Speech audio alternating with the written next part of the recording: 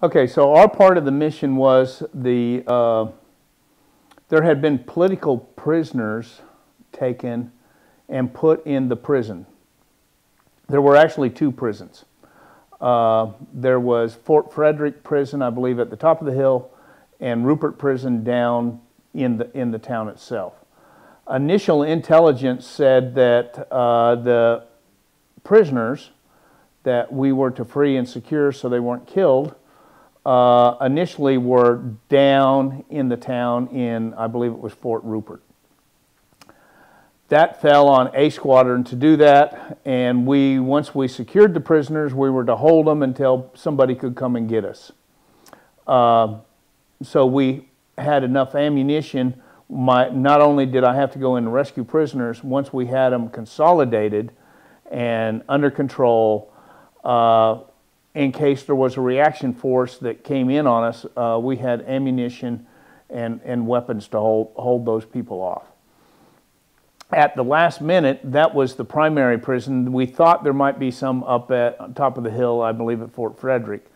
Uh, the last minute intel came in that let us know that all the prisoners were held at the top of the hill.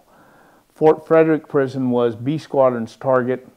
So we kind of flip flopped. It became the priority. They became the priority to go get that because there still may be some people down at the other prison, but we thought they were all up there. They had the priority. How this affected us was the primary assault team was going to fly in before the hours of daylight on uh, Black Hawk helicopters fast rope into the prison and eliminate any threats that were there and secure the prisoners. And we were flying in from uh, Puerto Rico. When this flip flopped, what happened was B Squadron was, instead of A Squadron flying in, B Squadron was going to fly in. And what the helicopters would do is they would drop off B Squadron to start their assault at that prison we would be air landed at the Salinas airfield. They would come over, land, pick us up. We'd get on the helicopters, fly over, and be inserted into Fort Rupert, the secondary target. So there was a delay. Uh, those, those were our missions to secure those prisoners. So there was a delay, and what happened was it took longer to assemble the helicopters and get the helicopters running. Uh, and ready to go to fly in. So we realized we weren't going to be able to fly in during daylight hours. And at that time, uh, the JSOC commander went up the chain of command to the Navy commander who was in charge and mentioned, hey, look, my guys usually fight in darkness. You know, we, we need to, you know, get them while they're just waking up in the mat, you know, beginning uh, in the morning, just as it's starting to lighten up, that's the ideal to hit people because they're still sleepy and, uh, you know. Well, what happened, this got delayed, so, you know, the, the, the people on the guns up at top of the hill, uh, they had time to get up and get dressed and have their breakfast, and they were out essentially on their anti-aircraft guns pulling the covers off of them that kept the dew and stuff off of them and all that other kind of stuff. And lo and behold, over the horizon, here come a string of helicopters. And uh, they opened up on the Black Hawk helicopters. Uh, one of the things that happened is they lost communication with, uh, within some of the helicopters, uh, even though there are redundant systems. And uh, they couldn't really talk real good to find out what was going on. So one helicopter got shot down and ended up going in and crashing. So they circled around again, uh, to the best of my recollection. I was not in B Squadron. They circled back around again and ended up fast roping guys down to the helicopter uh, and, and collecting the wounded and stuff. And then at that point in time, they flew the wounded out to the USS Guam uh, that was sitting off the coast. Meanwhile, we had came in and air landed, A Squadron, my people had. I was not supposed to be in one of the first C-130s in, but ended up being in one of the first C-130s as they made passes over the, uh, by the airfield There were still some obstacles on the airfield, but that, that most of them been moved off.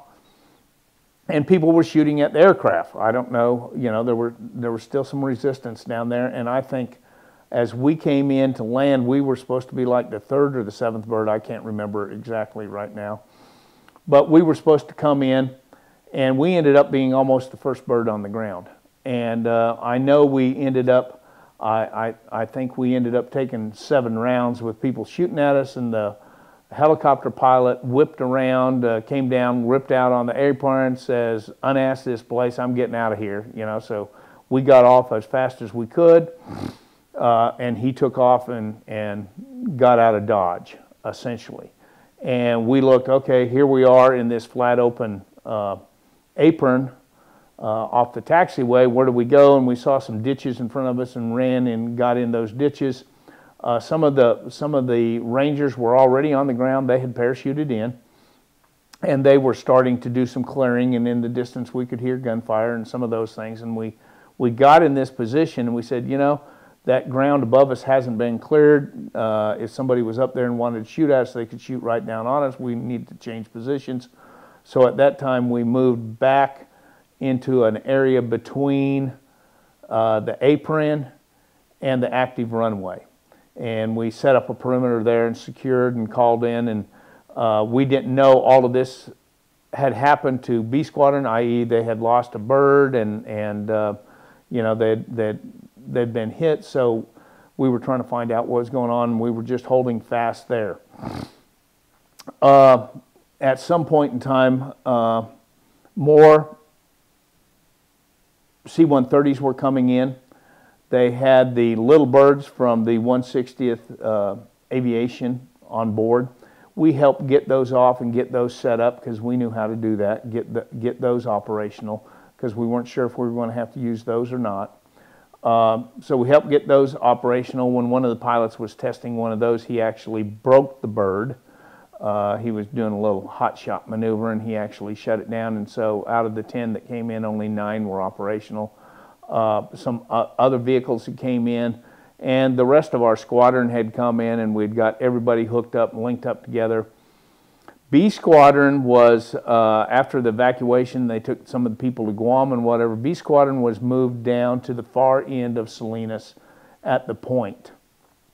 As you uh, uh, look at what would be the terminal. It would be all the way to the left-hand side, move down there. They had, the Blackhawks had taken and flown them in and then lined up on a taxiway down there that was beside the run, main runway uh, and had lined up. And word came for us to go ahead and grab all of our gear and we marched on down there, moved on down there.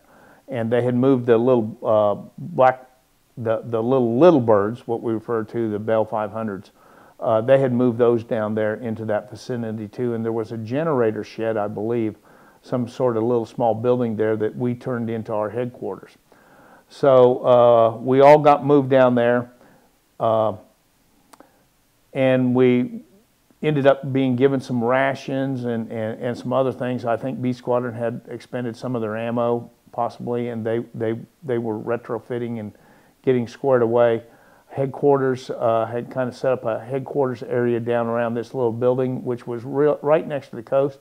So we could see into the town there at Grenada. We could watch the Cobras making their gun runs. We could see the AC 130s up high circling and engaging targets.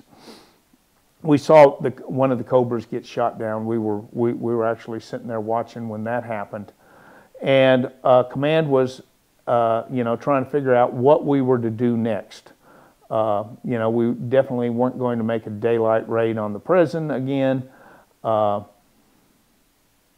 in, in the middle of daylight and have more helicopters shot down and, and that type of thing. And they, they were looking at for some other missions for us to do. Uh, one of the problems we had is because we were going to do close quarter combat in the prisons, uh, many of our force were carrying MP5 submachine guns. Uh, so if you're going into jungle warfare and you got to go chase down Cubans or go do urban, you know, guerrilla warfare in the streets, the MP5 is not necessarily the ideal magazine or ideal weapon to use. Uh, us who were going to perform security duties and stuff, we had the old uh, CAR 15, the XM 177 Vietnam era short rifles. We had those. And, and so we were, we were good to go, but uh, we, we really didn't have, uh, and they couldn't come up with a decent mission for us to go do because the Rangers were there, the 82nd was coming in. So we just kind of hung out there, and then it determination was made that we were going to return to Fort Bragg. So later that afternoon, late in the, later in the evening, we moved all the way back down toward the apron, uh, went on down there, and uh, uh, 141 had come in, and it was offloading the 82nd Airborne. People from the 82nd Airborne were getting off. When they got off, they loaded some wounded onto that plane uh, to go back to Fort Bragg, and we loaded on the plane and were flown back to Pope Air Force Base. And uh, so we, we were on the ground about 12 hours, maybe a little bit longer, maybe 14 hours, who knows. But uh, that, that was kind of the extent of, of uh, what we ended up doing.